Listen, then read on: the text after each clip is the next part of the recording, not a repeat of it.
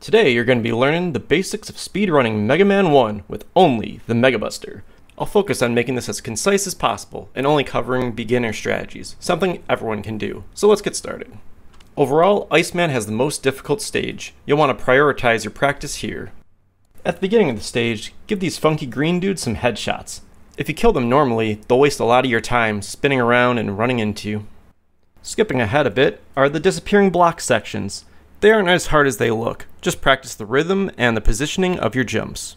Shortly after that is the most RNG heavy section of Iceman's stage. The platforms move randomly, oftentimes not cooperating with you, and you can also fall right through them. You can minimize your chances of falling through them by doing the pause glitch. You just do that by hitting select to pause and then select again to unpause. It flattens out Mega Man's body, preventing him from falling through it. You'll see me do it a lot here. Other than that, just be patient with your jumps, shoot the penguins or dodge them. And finally, skipping ahead a little bit, is the Iceman fight itself. It's a scripted fight. He'll start by jumping in the air and firing three ice shards from the top to the bottom, and then he'll follow it up by jumping straight up again and following the three ice shards from the bottom to the top. On the first set of shards, I like to jump the middle one, and then on the second set, I like to jump the bottom one. But in the end, use whatever works best for you. This is all a matter of getting the rhythm down and jumping precisely to dodge them. That's all I'm going to cover for Iceman, so moving on to Electric Man. This one, the stage itself is not bad at all. The boss fight, though, can be difficult. First, a general tip. If there's a ladder, always try to jump up or jump down it. It's a lot quicker than the climbing animation.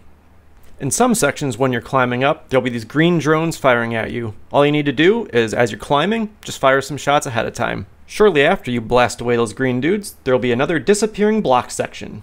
For beginners, I recommend taking the right path. It's much easier just to walk across these blocks and then making the jump. There's two other forking sections in the stage. I recommend taking the right ladder and then in the next time on the left ladder. And zipping ahead here, let's get to the Electric Man fight itself. Doing this normally with the Mega Buster only is extremely inefficient and inconsistent. But he has a simple pattern that you can get him into and abuse. It requires keeping a perfect rhythm. As he approaches you, when he puts his hands up in the air, this is where you want to fire. I recommend firing and jumping at the same time. This is so if you're slightly off rhythm, at least you'll jump over his electric beam. Hands go up, jump and fire. Hands go up, jump and fire. Repeat. Moving on to Gutsman's stage. This is one where you're going to abuse the hell out of the pause glitch, like you'll see me do against these miners throwing axes. The stage is pretty straightforward, so moving on to the boss fight. Against Gutsman, I recommend the basics of using the pause glitch to maximize your damage. You'll see me unload a flurry of shots and rapidly pause to get the most damage there. And then mastering the rhythm of as he's about to land, jump in the air and fire, and then on the way back down, fire again. That's it for Gutsman. Moving on to Cutman. His stage is pretty straightforward. There's some sections where you want to abuse the pause glitch, like you're going to take some bonks and just do some precise jumping here, but that's it really and on to the boss fight. When you start the fight, just walk straight down and start firing at him. He's going to throw his cutter out at you. Just jump over the cutter and start walking towards him. He's going to jump over you. Just turn around and fire and keep doing that until he's dead. Moving on to Fireman stage. This is also a pretty straightforward stage. Make ample use of the pause glitch to handle knockbacks and recover quickly. And then later on, there's a section with these little spiky dudes on the ground, and you can despawn them just by walking them off the screen. On to the fight with Fireman itself. This is another one where casually doing this would be incredibly difficult, but you can just abuse the hell out of the pause glitch, just rapidly fire and rapidly pause and unpause. That's it. Super easy. And finally, the last stage to cover, Bomb Man.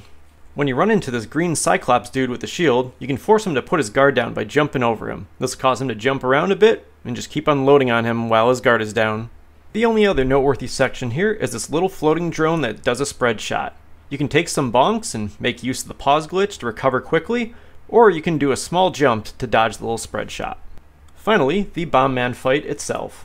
He does a pretty basic pattern of jumping on your far right and your far left while throwing bombs occasionally. Just jump the bombs as needed, fire at him, turn around, fire at him. That's it. Easy.